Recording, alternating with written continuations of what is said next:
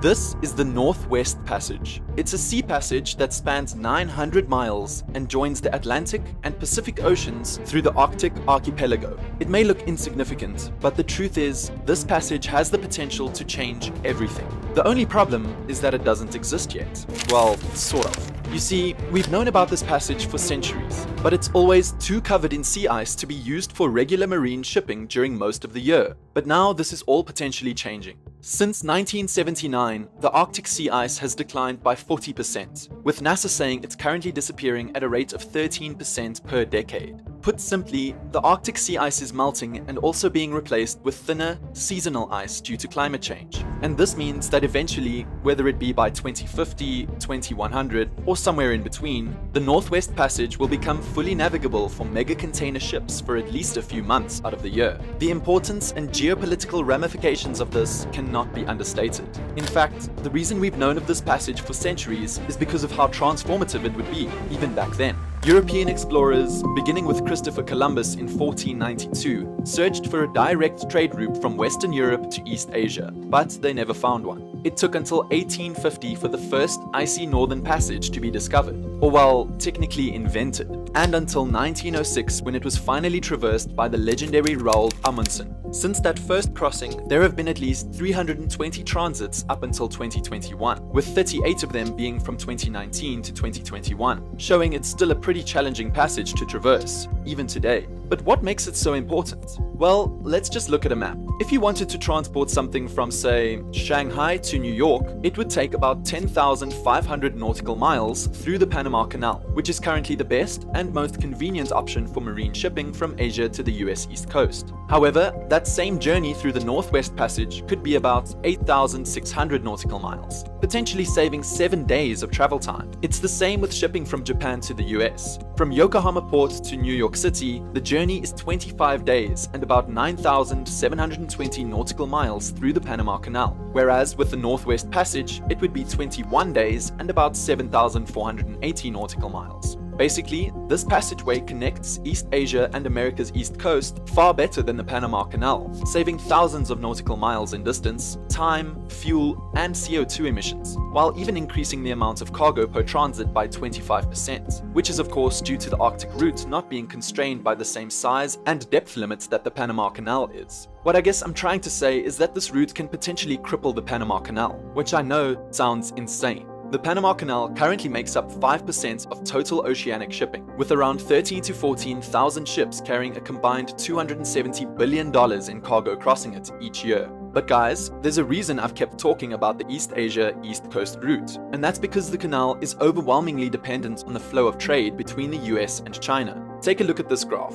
As of 2018, the US East Coast East Asia trade relations make up 36% of total tonnage passing through the Panama Canal, followed next by US East Coast South America West Coast at only 16%, less than half of that of East Asia East Coast. Now, that's a huge percentage dependence, and it's not even everything. Many trips from the US West Coast to Western Europe are shorter via the Northwest Passage as well, such as from the port of San Francisco to Rotterdam being about 7,000 nautical miles instead of 9,000 via the Panama Canal. So what we're looking at really are traffic losses of around 40% for the Panama Canal. Keep in mind too that Panama would not only be receiving significantly less shipping through the canal, but they'd most likely have to lower their toll prices as well in order for them to stay somewhat competitive, meaning even less money. Some experts say that due to how fast the ice is melting up north, the question isn't really if they're going to lose money, but rather how much they're going to lose. And this, of course, is terrible for the country of Panama given the canal and everything connected to it makes up 10% of their GDP, with it also being what Panama is famously known for. Yet, despite the possibility it could be one of the biggest blows the Panamanian economy has ever been hit with, there's only been a handful of official government statements on the Arctic shipping lanes ever, and little to no coverage in the news about it. Could they be sleepwalking into a financial crisis? Well, maybe, but also maybe not.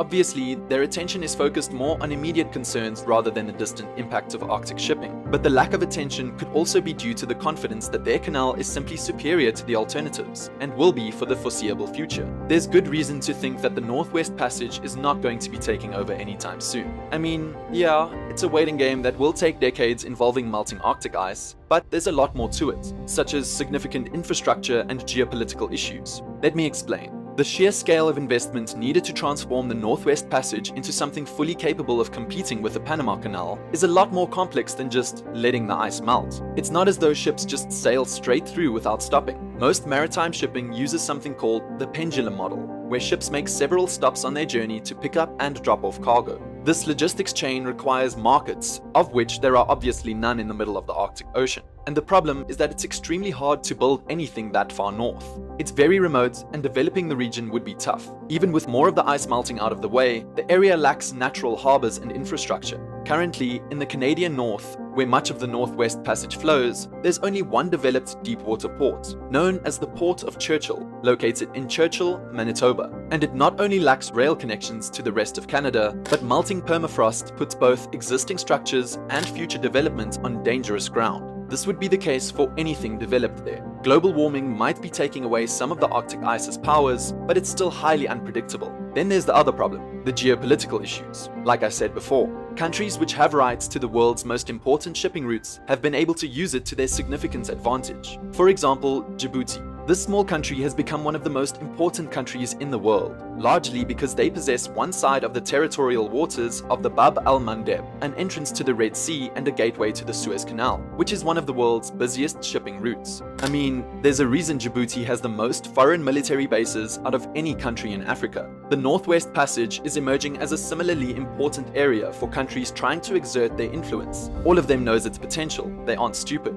Despite the fact that part of the Northwest Passage is pretty clearly in Canada's waters, or at least potentially enough to warrant controlling the waterways, some maritime nations, with America obviously being the loudest one, have denied that it belongs to Canada, claiming that it's an international strait because it connects two major bodies of water and should be able to be crossed freely by all NATO vessels, as it states in the law of the freedom of navigation. Canada's argument is that the passage is part of the Canadian Arctic archipelago, and therefore is their internal waters, making it solely their waterway to control, as per the United Nations Convention on the Law of the Sea. The Canadian House of Commons even unanimously voted in 2009 to rename the Northwest Passage to the Canadian Northwest Passage, to further stamp their ownership of it. They've previously said, though, the passage would still be available for use, just under Canada's rules. This is pretty much being cemented too by them starting to build a new deepwater port located in Qikiqtarjuaq, Nunavut, near the entrance to the Northwest Passage. Another group that protests Canada's ownership of it actually comes from within the country itself, that is, the Inuit Circumpolar Council, who claim that the ice and water in the Northwest Passage belongs to the Inuit, who are indigenous people of northern Canada and parts of Greenland and Alaska. This is because the Northwest Passage is part of the Inuit Nunangat, their Arctic homeland for thousands of years. The ice is also important to their society because it allows more movement, as well as provides necessary resources to ensure their survival. Overall, the situation is pretty tense. Canada and America get along for the most part, and share the longest undefended border in the world. But this passage issue has always been a controversial thorn in their relationship. Currently, there are no existing policies agreed upon nations that determine who can and cannot pass through the Northwest Passage, but with time, there surely will be. Will the US end up exerting its power and influence against Canada in order to secure their freedoms in the route? Maybe, but what do you think? Who does the Northwest Passage really belong to? And is it a threat to the Panama Canal? Thank you for watching.